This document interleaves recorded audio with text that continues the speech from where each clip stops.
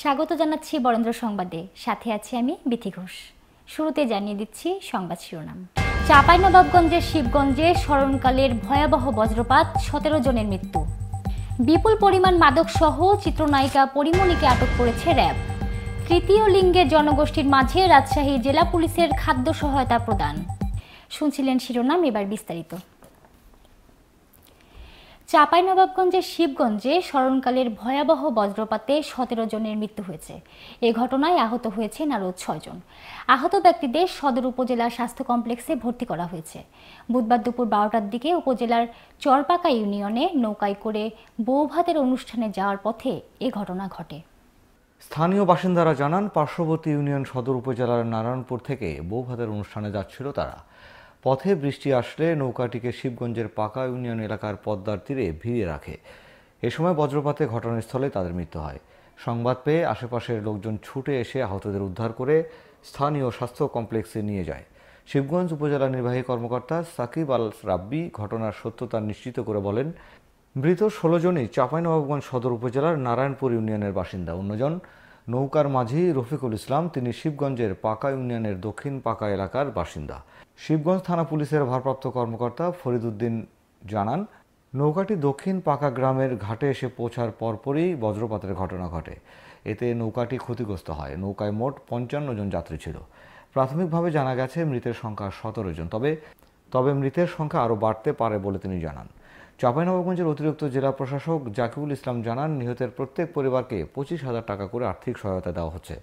এছাড়াও আহতরাও চিকিৎসার জন্য সহায়তা পাচ্ছেন। এদিকে চাঁপাইনবাবগঞ্জের শিবগঞ্জে বজ্রপাতে সতেরো জনের মৃত্যুতে গভীর শোক ও দুঃখ প্রকাশ করেছেন Rajshahi city corporation mayor H M Khairuzzaman Liton. বুধবার এক শোক বার্তায় এই শোক প্রকাশ করেন তিনি। শোক বার্তায় তিনি নিহতদের রুহের মাগফিরাত কামনা করেন এবং শোক সপ্তপ্ত পরিবারের প্রতি গভীর সমবেদনা জ্ঞাপন করেন। এ ঘটনায় আহতদের সুস্থতা কামনা করেন তিনি। দেখলাম যে নাচ মানে ছিত্রা পুরা আছে।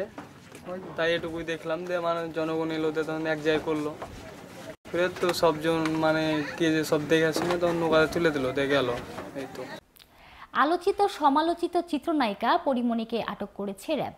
বুধবার তার বনানীর বাসা থেকে তাকে আটক করা হয়। এ সময় তার বাসা থেকে বিপুল পরিমাণে মাদকদ্রব্য উদ্ধার করা হয়। সুনির্দিষ্ট অভিযোগের ভিত্তিতে পরিমনির বাসায় অভিযান পরিচালনা করা হয়েছে বলে জানিয়েছে র্যাব। বুধবার বিকেলে তার বাসায় অভিযানে যায় র্যাব। এ সময় নিজের ফেসবুক থেকে লাইভে এসে পরিমণি বলেন, তার বাসায় বিভিন্ন পোশাকে লোকজন এসে ফ্ল্যাটের দরজা খুলতে বলছেন, কিন্তু তিনি দরজা খুলতে ভয় পাচ্ছেন। পুলিশকে খবর দেওয়া হলেও তারা কোনো সাহায্য করছে না। এক পর্যায়ে দরজা খুলে দিলে র্যাব সদস্যরা ভিতরে প্রবেশ করে এবং অভিযান পরিচালনা করে বিপুল পরিমাণ মাদক উদ্ধার করে।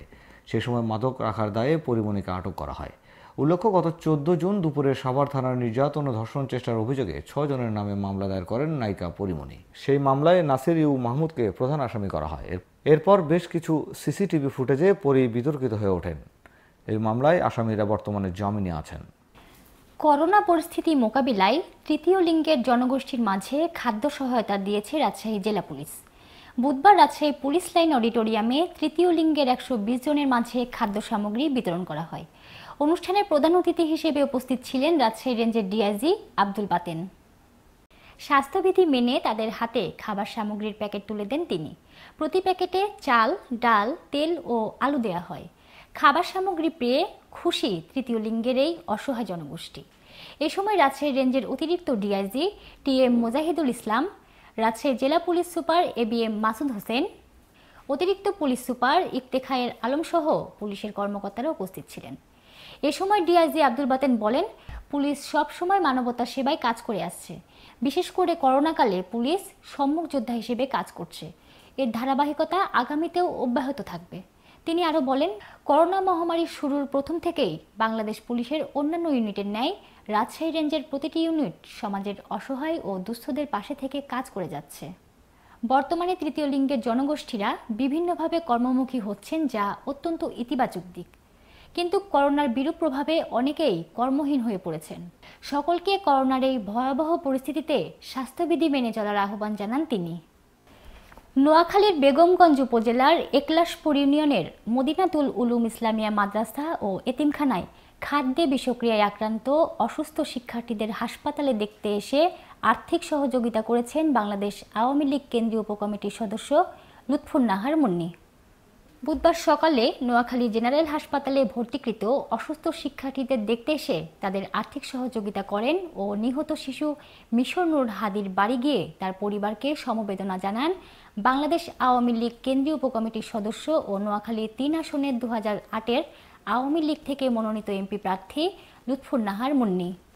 গত তিন আগস্ট উপজেলার একলাশপুর ইউনিয়নের মদিনাতুল উলুম ইসলামিয়া মাদ্রাসা ও এতিমখানায় খাদ্যে বিষক্রিয়ায় আক্রান্ত হয়ে শিশু মিশন নূর হাদি নামের নয় বছরের এক শিশুর মৃত্যু হয়। এ ঘটনায় এক মাদ্রাসা শিক্ষক সহ আরও আঠারো জন অসুস্থ হয়ে হাসপাতালে চিকিৎসাধীন রয়েছে।